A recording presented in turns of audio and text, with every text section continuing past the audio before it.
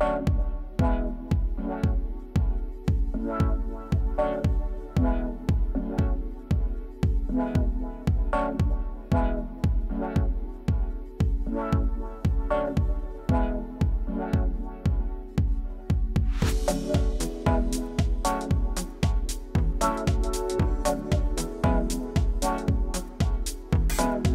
found some large clay soft spots on stage one.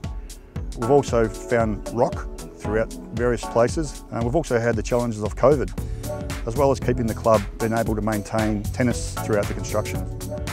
Having 11 courts meant that we could do the project over um, two phases, which was really um, important because we've been able to have those facilities while the other half has been done, so that's worked really well.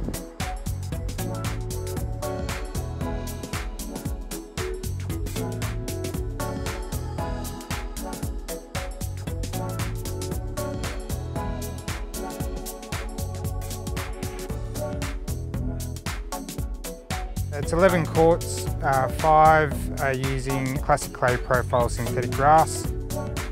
The council asked us what surface we would prefer and they accepted our choice. This is a very new surface that has the same ITF profile as En Tout Cas. People love it. It's really very similar to, to clay, similar bounce and similar pleasure to play tennis. The big key point post-COVID is that um, contactless engagement with the club. You can do it all online. There's a PIN pad access on all of the gates, which acts as a security buffer as well as contactless entry. When you book, you get a code, which you then um, enter into the gate. The gate opens and then you gain access. It's a great system. Couldn't believe the night that we turned on the lights. It was almost like daytime. There was no shadowing whatsoever and the um, lux levels absolutely exceeded what we had designed. So it was really, really good result.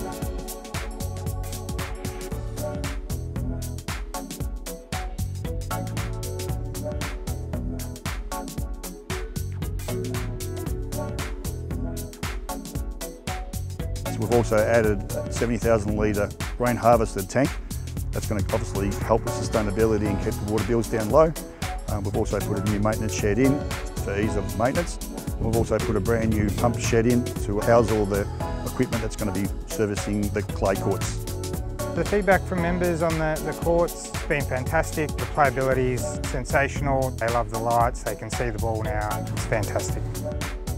just has made the facility safer, more accessible, more family friendly, as well as a better facility for those competitive top level players. So yeah, we're really excited. Everybody's so happy.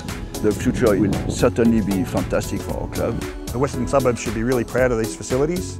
If you come out and see for yourself and join as a member, you'll understand what I'm talking about.